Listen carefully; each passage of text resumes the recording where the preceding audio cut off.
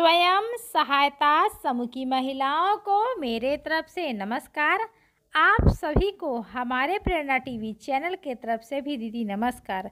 अगर अभी तक आपने हमारे प्रेरणा टीवी चैनल को सब्सक्राइब नहीं किया है तो जल्द ही सब्सक्राइब कर लें, क्योंकि आप सभी को डी एन से जुड़ी उसके साथ साथ केंद्र सरकार के द्वारा जो भी योजनाएँ चलाई जाएँगी, सबसे पहले आप सभी को अवगत कर दिया जाएगा। आपके समूह में किसी प्रकार की हो रही है दिक्कत तो हमसे बात कर सकती हैं, मैसेज कर सकती हैं। हमारा मोबाइल नंबर लिख लीजिए। Six three eight seven eight seven seven six six two. ये हमारा मोबाइल नंबर व्हाट्सअप नंबर, दीदी दोनों ही है। अगर समूह में किसी प्रकार की दिक्कत है तो हमसे बात कर सकती हैं। आप अगर डेनालम में पहले से जुड़ चुकी हैं तो आप सभी से निवेदन है कि दीदी प्लीज़ प्लीज़ आप लोग पाँच सूत्र का पालन करना ना भूलें। साप्ताहिक बैठक, साप्ताहिक बचत, आंतरिक उधार, समय ऋण वापसी, लेखा जोखा, इन पाँच सूत्रों का करें पालन और अपने समूह को रखिए सक्रिय। कोई भी रोज़गार आने से पहले उसके साथ साथ परेशानी भी खड़ी होने लगती है। जहाँ एक तरफ़ पहले टीएचआर का काम स्टार्ट होना ही था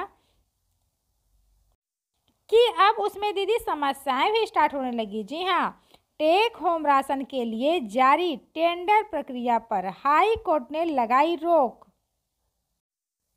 याचिका में कहा गया कि, जी हाँ दीदी, याचिका में कहा गया कि राज्य सरकार ने टेंडर प्रक्रिया में जानबूझकर ऐसी शर्तें रखी हैं, जिन्हें ये संस्थाएँ पूरी नहीं कर पा रही हैं।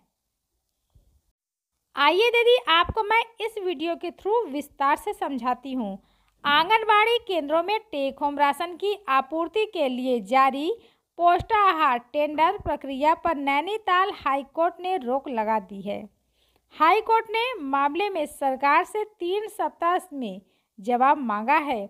महिला एवं बाल विकास विभाग ने 8 अप्रैल 2021 को पोस्टा आहार टेंडर प्रक्रिया जारी की थी। न्यायमूर्ति शरद कुमार शर्मा की एकल पीठ के समक्ष मामले की सुनवाई हुई। लिवर हेडी हरिद्वार के स्वयं सहायता समूहों ने हाई कोर्ट में याचिका दायर कर कहा था कि सर्वोच्च न्यायालय के दिशा निर्देशों के अनुसार आंगनबाड़ी केंद्रों में पोष्टा आहार की सप्लाई के लिए जो भी टेंडर निकाले जाएँगे, उनमें स्वयं सहायता समूहों और ग्रामीण समूहों को वरीयता दी जाए। याचिका में कहा गया कि राज्य सरकार ने टेंडर प्रक्रिया में जानबूझकर, जी हाँ दीदी, जानबूझकर ऐसी शर्तें रखी हैं जिन्हें ये संस्थाएँ पूरी नहीं कर पा रही हैं।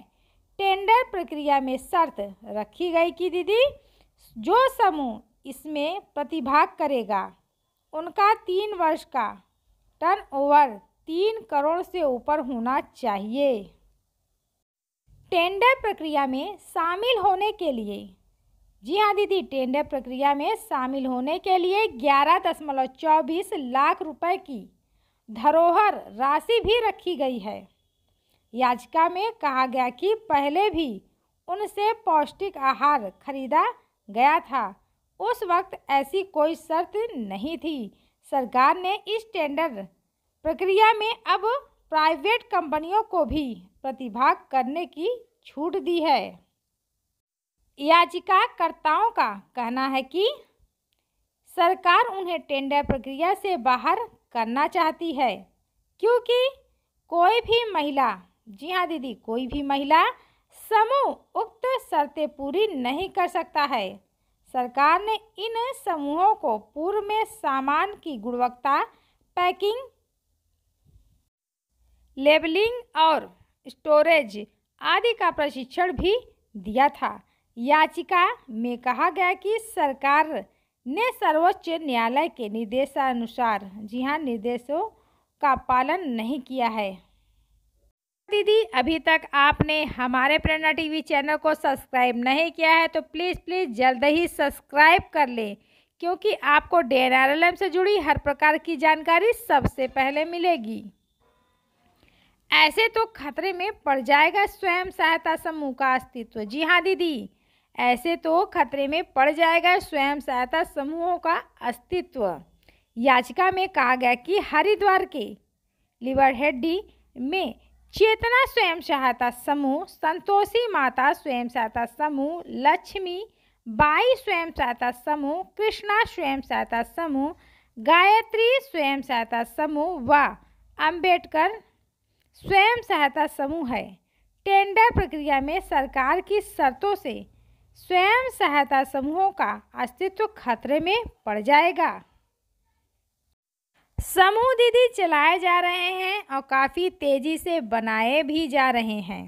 हमारी दीदियाँ पंचसूत्र का पालन भी कर रही हैं। लेकिन उनके साथ धांधली हर जगह की जा रही है, क्योंकि इसके पहले पोष्टा आहार बांटे गए। जो कि हमारी समूह की महिलाओं ने बांटे। जी हाँ हर ज़िले में, हर गाँव में एक समूह को पोष्टाहार वितरण करने का काम सौंपा गया था। उनके खाते में बाईस हज़ार रुपये दिए गए और उस पैसे का चने का दाल और जो है किराया, पॉलिथीन वगैरह खरीद कर काम आग, काम को आगे बढ़ाया गया। लेकिन उनके जी हाँ लेकिन उनके समूह में अभी तक मानदेय का पैसा नहीं आया। तो क्या महिलाएँ, जी हाँ कुछ नहीं बोलें? क्या महिलाएँ कुछ नहीं बोलें? क्योंकि शोषण तो महिलाओं का हो ही रहा है। इस वीडियो को जो भी देख रहा हो दीदी, आप सभी से निवेदन है कि ज़्यादा से ज़्यादा शेयर करें। और सब्सक्राइब करें हमारे प्रेरणा टीवी चैनल को, क्योंकि आपके साथ प्रेरणा टीवी चैनल हमेशा खड़ा रहेगा, क्योंकि हमारे महिलाओं के साथ कहीं ना कहीं शोषण किया जा रहा है। क्योंकि इस वीडियो को जो देख रहा है, वो इस चीज़ को समझे कि पोष्टाहार दीदियों ने बांटा। कहीं पे एक साल हो चुके हैं, कहीं पे आठ महीना, कहीं पे छः महीना और कहीं पे चार महीना। क्या उन दीदियों के समूह के खाते में मानदेय के पैसे आए? नहीं आए। अगर किसी दीदी के खाते में, जी हाँ स्वयं सहायता समूह के खाते में मानदेय के पैसे आए हैं तो तुरंत मुझे कमेंट करें मैसेज करें कि हाँ हमारे खाते में आए हैं पोषाहार का वितरण करने का मानदेय। इसी प्रकार दूसरी तरफ़ टेक होम राशन के लिए जारी टेंडर प्रक्रिया पर हाईकोर्ट ने लगाई रोक। अभी काम इसका स्टार्ट होना ही था हर जगह टी एच आर का काम जी हाँ टेक होम राशन का काम स्टार्ट होना ही था। तीस तीस हज़ार समूहों से लिया जा रहा था उस काम को स्टार्ट करने के लिए। फिर दीदियों को कुछ पैसे भी मिलते मासिक काम करने पर। लेकिन अब इसमें भी अड़चने आ चुकी हैं। तो चलिए दीदी, आज की वीडियो में बस इतना ही। अगर आपको हमारा वीडियो पसंद आए तो लाइक, सब्सक्राइब, शेयर करना ना भूलें। ज़्यादा से ज़्यादा शेयर करें, सब्सक्राइब करें और सभी दीदियों से सब्सक्राइब कराएँ। क्योंकि आपके साथ हम हमेशा खड़े रहेंगे, क्योंकि हमारे समूह की दीदियों के साथ कहीं न कहीं शोषण किया जा रहा है। महिलाएँ घर में परेशान थी, अपने काम काज को लेकर समूह में जुड़ी कि कुछ रोज़गार मिलेगा, पैसा मिलेगा, लेकिन यहाँ पे भी समूह में भी कहीं न कहीं कुछ शोषण हो रहा है। तो आपके साथ क्या हुआ, मुझे बताएँ, कमेंट बॉक्स में जाएँ या कॉल करें, मैसेज करें। चलिए दीदी, आज के वीडियो में बस इतना ही। धन्यवाद जय आजीविका।